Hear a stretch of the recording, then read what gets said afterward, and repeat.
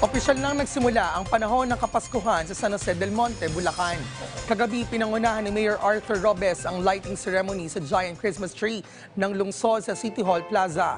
Ayon kay Mayor Robes, taunan itong ginagawa ng pamahalaang lungsod upang ipadama sa kanilang mga kababayan ang diwa ng Pasko at ipakita sa buong mundo kung paano magdiwang sa Kapaskuhan ang mga San Joseño. Kasabay nito ang pamimigay ni Representative Rida Robes ng mga regalo sa mga mag-aaral ng ah, elementarya na lungsod.